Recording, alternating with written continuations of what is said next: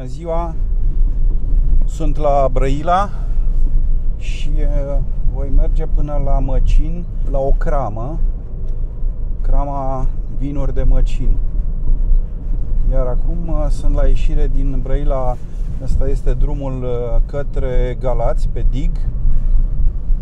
Și voi face la dreapta aici pentru a merge către Bac.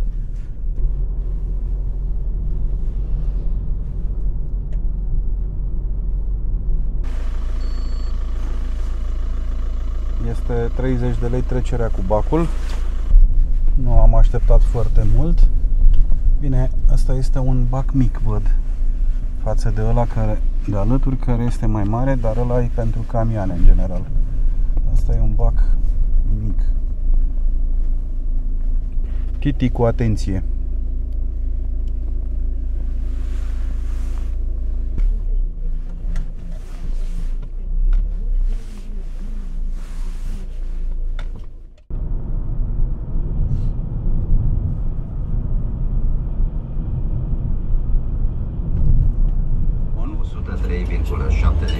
euro pentru un megawatt oră.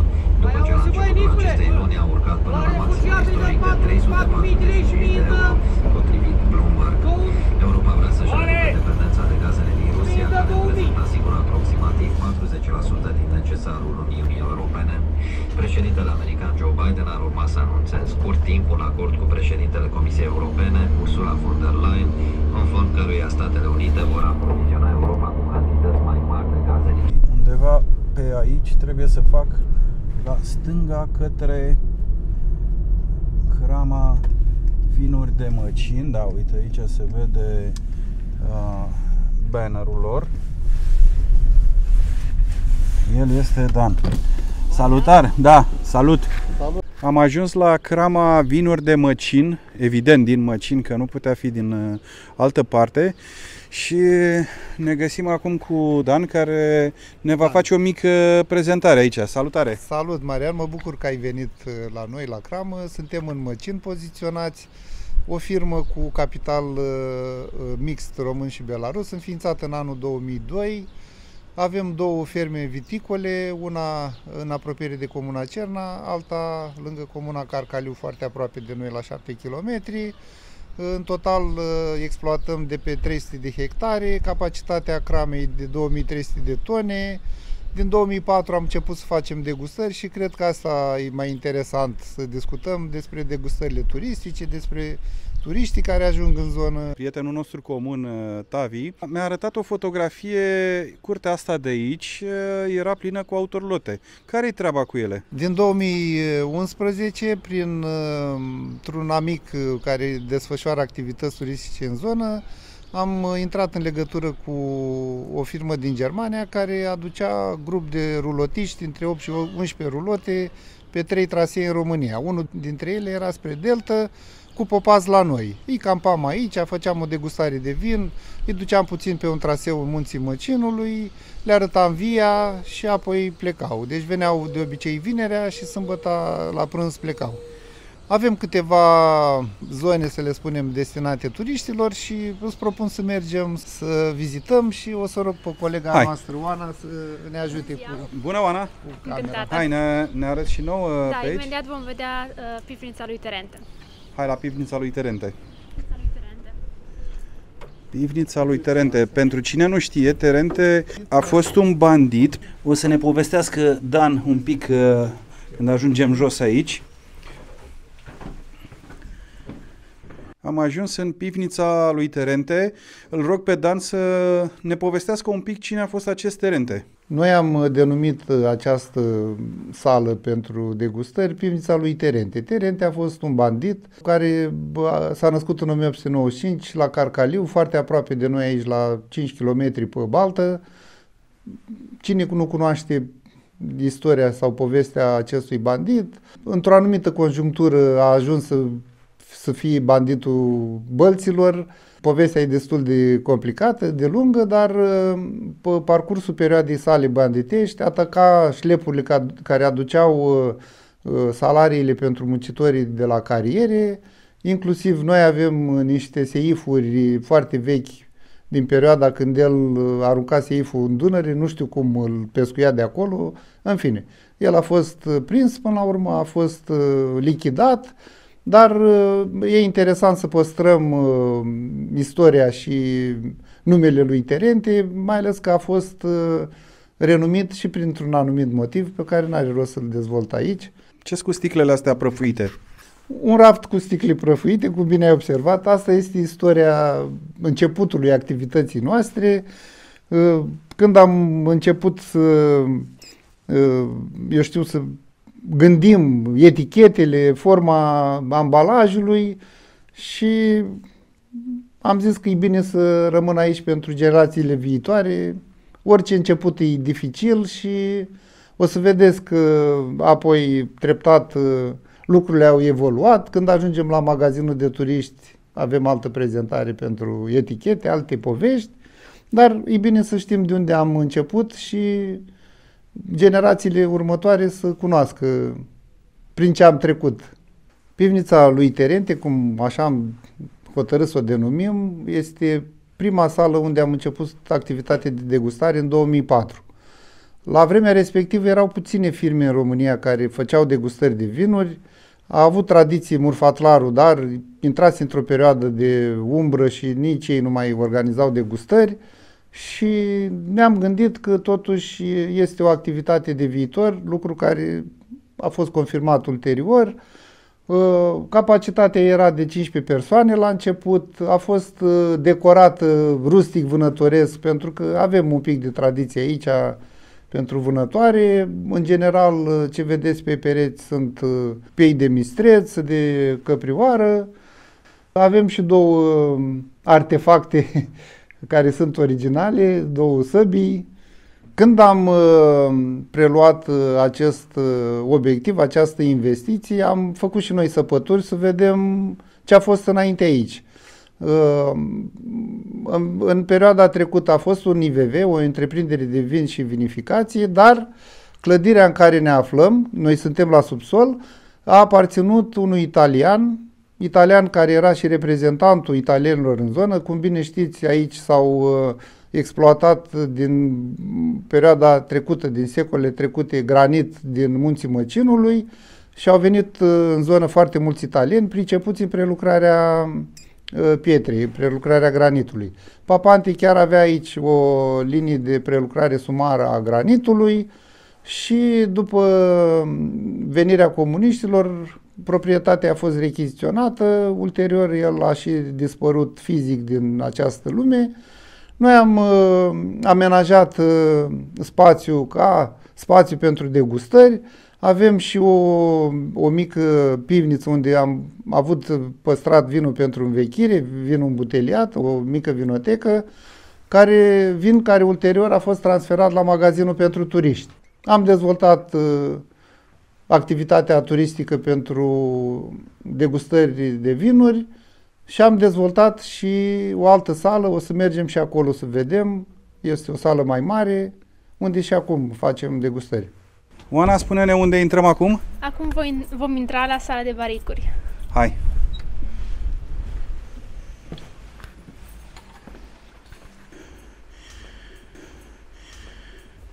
Suntem în sala de baricuri. Ea a fost amenajată ca sală pentru depozitarea și condiționarea vinului încă din anul 2010.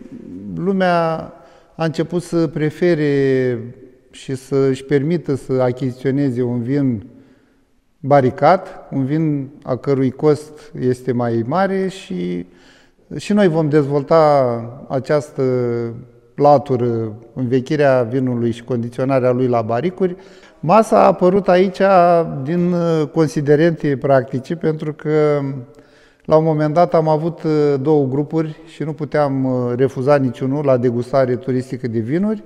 Și atunci am fost nevoit să mai pregătim o sală și așa am făcut uh, această masă cu cadre de butoi care a rămas aici și ne prinde bine, pentru că dacă avem cumva două grupuri, încercăm să găsim soluții pentru ambele.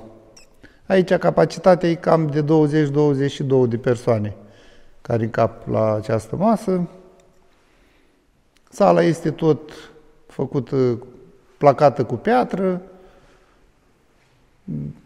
tavanul cu lemn. Am păstrat stilul ăsta puțin rustic. Avem și două butoaie pentru poze. Să mergem mai departe să vedem uh, magazinul destinat turiștilor. Ne ajută Oana.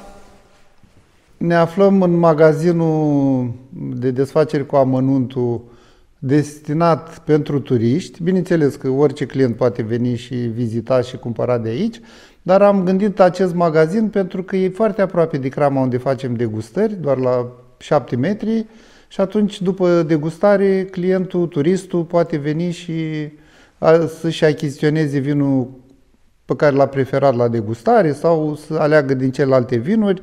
Cum îți spuneam aici, am adus vinurile de vinotecă pe care le aveam în uh, pivnița lui Terente. Aici sunt, uh, într-adevăr, sectorul ăsta e cu vinuri de vinotecă și un pic mai jos avem uh, vinurile comerciale, vinurile pe care le realizăm zi cu zi. Prețurile sunt pentru toate buzunarele, facem vinuri începând de la albe de miseci către roșii de midulci. Gama este diversificată, avem și albe și rozeuri. Să zic că vârful de lance a Podgorii Sarica Niculițele este aligote, este un vin mineral, un vin care este apreciat în general de bărbații și de cunoscători de vinuri.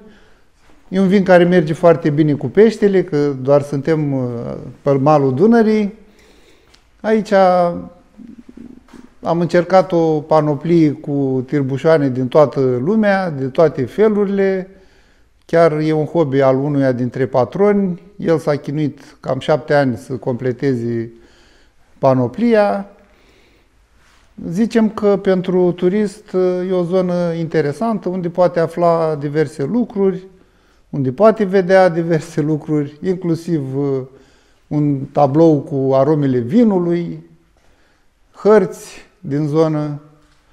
Se pare că nu mă plictisesc pe aici dacă vin cu autorulota, așa că mai mult ca sigur o să vin cu autorulota la crama vinuri de măcin și să vedem, poate mai găsesc 1, 2, 3 prieteni. Hai să vedem ce mai găsim prin zonă. Vom merge acum la crama unde facem degustări, o să ne ajute Oana. Chiar avem o degustare zilele acestea și suntem uh, pregătiți de eveniment.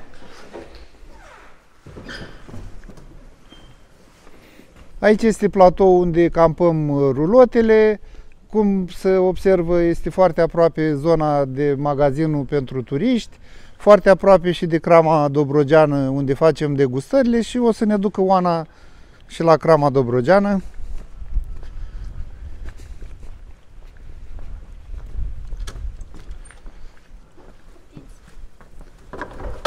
Wow, ce sunt astea?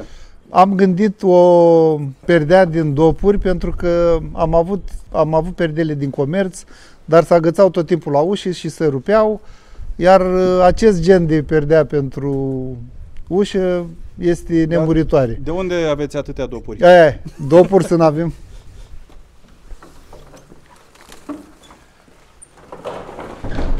După cum vezi, crama, uh, zona destinată turiștilor, este făcută tot în stilul rustic. Aici masa e pregătită pentru degustarea care va fi peste câteva zile. Capacitatea sălii este de 50 de locuri. Am zis să fie de aceeași ca număr cu capacitatea unui autocar. În general ne adresăm turiștilor care merg către Delta, agenții de turism. În general ne adresăm turiștilor care vizitează zona. Aici dacă vin, uh, au unde să stea inclusiv turiștii care nu sunt cu autorulotele, de exemplu? În ultima perioadă uh, s-a dezvoltat uh, partea de cazare în zona noastră. Este adevărat că la începutul perioadelor de degustare anterioare nu existau spații de cazare. În ultimii ani s-au făcut în zonă diverse, s-au construit diverse pensiuni unde oamenii pot veni, turiștii se pot caza. În general ne contactează mm, structurile de cazare respective pentru degustări pentru turiștii lor. Există spații și așteptăm turiștii în număr cât mai mare să viziteze atât zonele turistice naturale, situl Natura 2000, Parcul Național Munții Măcinului, Lacul Iacob Deal, Brațul Vechi al Dunării și, bineînțeles, o degustare cu vinuri de măcin la Crama Dobrogeană. Mulțumesc, Dan și Oana, pentru că mi-ați arătat crama vinuri de măcin și uh, sper să revin uh, cât mai repede cu autolotă la voi. Marian, noi îți mulțumim pentru vizită. Ne bucurăm că ai, am avut prilejul să-ți prezentăm ce avem aici și te așteptăm cu camperul primăvara, vara, toamna, iarna, oricând vrei. Ne găsești aici, un pahar de vin tot timpul, noroc și sănătate. Interesantă vizita la crama asta din Măcin, vinuri de Măcin și chiar mă bucur că oamenii sunt deschiși pentru acest gen de turism.